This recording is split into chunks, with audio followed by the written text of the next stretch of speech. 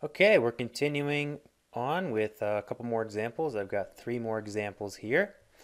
Um, create a VBA sub that will square cell 2 2 of a current selection. So when you read that, you should think selection.cells 2 comma 2 and place it in cell A1. I'm going to import that as a variable x. Then we're going to say y equals x squared and then we're going to place y into cell A1. First step is to dim our two variables, x and y in my case. You could use a and b or whatever you want. Then we obtain x as selection.cells 2 comma 2. In order for this to work, I need to have a selection though. We then square x to define our variable y. And actually, the goal is to place the result in cell A1. So I'm just going to shift this down so we're not covering up A1. And finally, we now take y and we put it into range A1. And we can run this using F5 and we take the 2, 2 position of the selection, which is 5, we square it and place it into cell A1. Example 4. Create a VBA sub that will display the rows and columns of a selection and display in a message box. So the first step is to dim two variables as integers, the number of rows and the number of columns. Then we count the number of rows and the number of columns of our selection, and I need to make sure that I have a selection.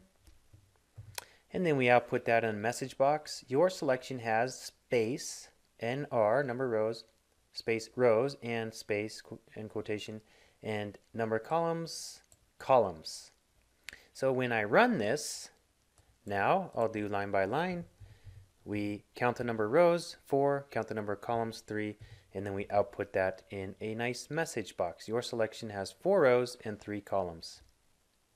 Finally, example 5, create a VBA sub that asks the user for a number with an input box, then adds that number to the current active cell and places the result in a cell that is two cells right and two cells down from the current active cell.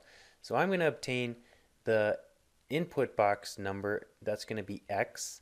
The number in the current active cell is going to be y, then I'm going to create a third variable z that's going to add x and y, and that's going to be placed into an offset of the current active cell, two cells right and two cells down. So uh, two rows down, two columns over. The first step is to dim x, y, and z. The next step is to obtain x using an input box. Y will just be obtained from the active cell, and I'm going to just change this up a little, put a 6 here as the active cell.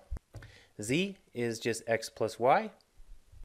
And finally, we say the active cell offset 2 comma 2, so two rows down, two columns over, that should be D8, will be equal to Z.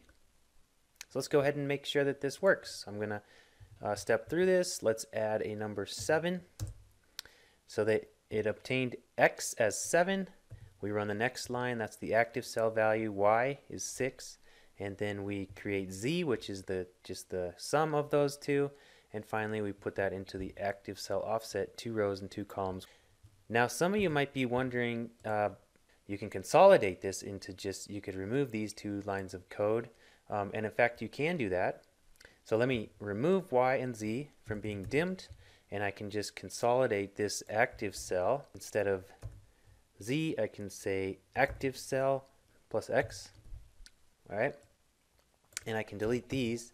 And now I only have I have a couple rows fewer. And this works exactly the same. I can add uh, 8 plus 6 into cell the active cell offset there.